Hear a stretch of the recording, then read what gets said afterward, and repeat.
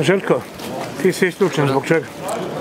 Ja stvarno ne znam, prvi karton mi je dao, u živom zidu smo bili ja i Radosavljević, malo smo prišli kao, kao i, i uvijek što se radi, on došao dao mi karton za, kod drugog kartona, ispratio sam golmana, loptu pomerio, on šutnuo u mene, ovaj došli, izgleda da je moralo tako da, da bude.